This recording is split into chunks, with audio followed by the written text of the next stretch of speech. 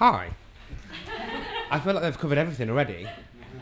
It's just a very thorough. Um, I thought I would talk to you all about something a little bit different, um, and that is my perspective working as an artist, um, also working with large companies, and also working with independent artists. Um, I think it's quite overwhelming to hear all about this when you realise you've actually got no money. Um, and I think there's some practical things that we can talk about, um, and also set expectations. Um, but first, I work in the arts because I love it. Um, I originally trained as a dancer, um, which feels like many moons ago, but we won't talk about when. Um, I then decided that actually I wanted to use my other passion, and that was graphic design. And it started off with graphic design and built into something that I probably never knew at the time that it was going to be like this. Um, I also realised that there was not a lot of money in dance, um, and I wanted a backup plan, um, and I got sucked into digital. Um, we've we've heard about online media and digital marketing. I started out literally updating web pages. Um, and now I'm at the other end where I manage teams and we do content strategy, um, look at social media, live streaming. Um, I've recently done, which you might have seen, a plug Glastonbury with English National Ballet, and we streamed it on TV. Um, so this, the breadth of my job has changed quite a lot. Um, and I think that's not necessarily about what I'm into, it's also about the way the industry's changing quite dramatically. Um, so for me, what is digital marketing? For me, digital marketing is when technology is used to connect with audiences, however that may be. That might be through a website, um, email marketing, CRM, content.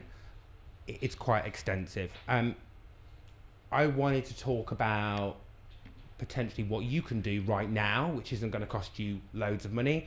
Um, I wondered if you could put your hands up if you are independent artists and organisations, medium, large, small. Okay, I was good. So I think we can all agree that there's not enough resource, there's not enough time, and particularly money. Um, I wanted to talk about that. So social media, first of all, is that you need to make it personable. Um, I think I've made the mistake in the last nine, ten years that it, you quite get to the point where you are just churning stuff out. Um, I think that's a lesson that everybody learns very quickly is that it can't be passive. Um, and I think we've all, we've all said that already. Um, it needs to be engaging and it needs to be relevant.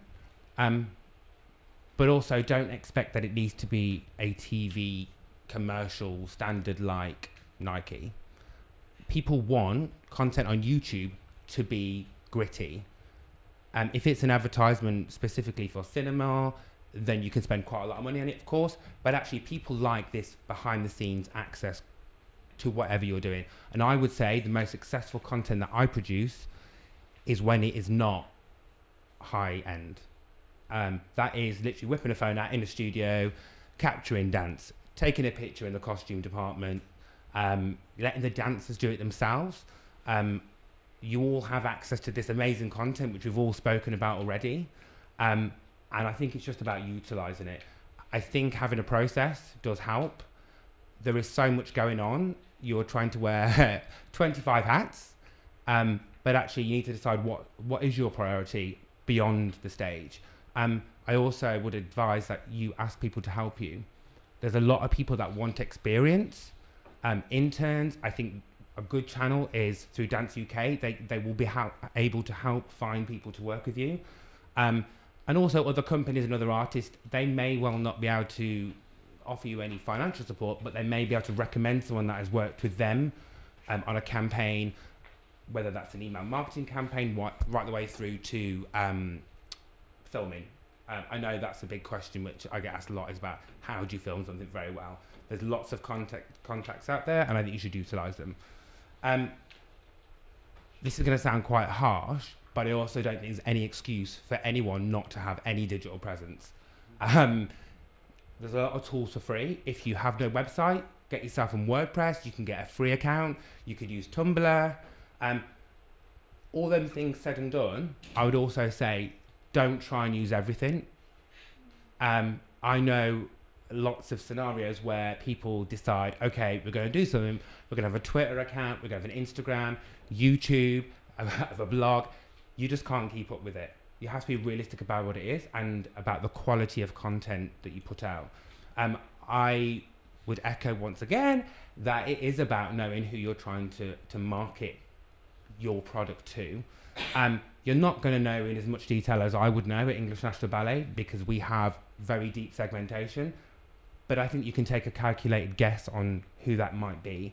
Um, try and make sure that you create content that can be seeded to different types of audience. Um, and you'll also learn if you watch what is happening.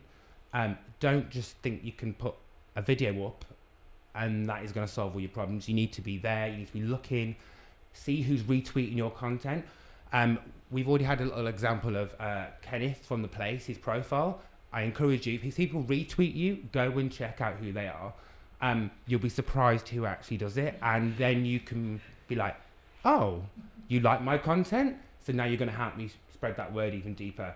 Um, there is obviously a right way and a wrong way to do things, um, but everyone's quite mature and pretty good communicators. So ask nicely for people to share your content. Um, if it is Kenneth, I'm sure he's going to do it for you anyway. Um, but people like me and Natasha, you know, look at people's profiles and see how you can utilize them to your best advantage. Um, I think that I've already touched on it already that it doesn't have to be expensive. The content is there. It normally is about the time. Um, I also think the amount. Um, everybody hears it. It's about the quality, not the quantity. Um, a schedule is a very good way of making sure that you are not tweeting 65 times a day for the sake of tweeting. Um, if you use a tool called Hootsuite, they can do a auto publishing um, activity for you. It will let you schedule it on a calendar as well as track that activity. There's plenty of other good products out there, but that's the one that I use. Um, and also a normal diary, just to know when things are clashing. Um, one of the things that I've learned with there's so much going on in the dance sector that you need to know what everybody else is doing too. Get on their websites, check their what's on calendar. Yes, we're at Sadler's Wells, but I watch Sadler's Wells like a hawk. I need to know what they're doing and when they're doing it. I watch the Royal Ballet, I watch Birmingham Royal Ballet. It is not appropriate for you to go and launch your, you know, for the New Movement Collective did this massive project. It would have been very silly of them to go and launch their whole thing when the Royal are going to do their thing. You need to take calculated risks and you need to know when they're when you know they're going to be at the highest season time September. Um, so I think just keep an eye out for them kind of things.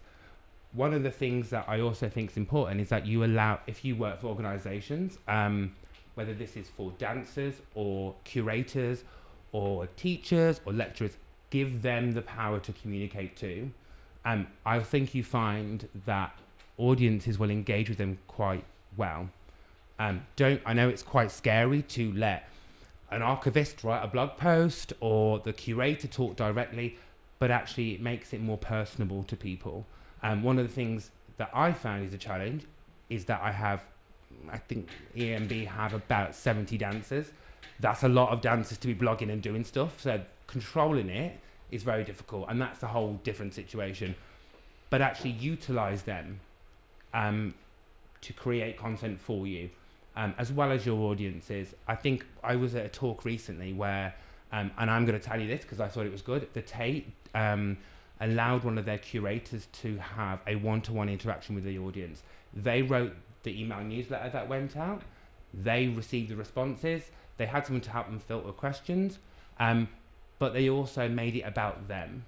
That their perspective on what they do is very unique. Um, I know what I do, and I can't talk for everybody, so I would suggest you utilize that as best as you can. Um, I think for independent artists, use your collaborators too, whether that is someone that is helping you write a press release, do your marketing image, uh, Répétiteur, I think utilize people that are around you. Um, and it isn't about throwing money at everything. It doesn't always work. Obviously, I'm not going to name names, but it isn't about throwing bucket loads of cash at things. People find that impersonable sometimes. Um, I think mine's going to be a bit shorter than everybody else's, but I think one of the things that I would like to give you as a tip is to think big. Um, I don't think you should be afraid of approaching new people. Um, Natasha's already spoken about everybody wants dance. Everybody wants dance as part of what they do. Um, we've recently done some very successful campaigns with ENB, such as the Lexus campaign. I hope you've all seen it. It's amazing.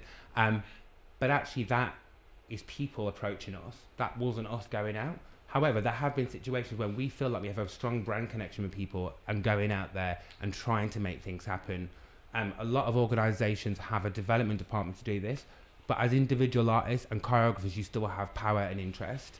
Um, I wouldn't necessarily say you're going to go and get Microsoft to sponsor you, but that's not to say they wouldn't be interested in supporting you a different way.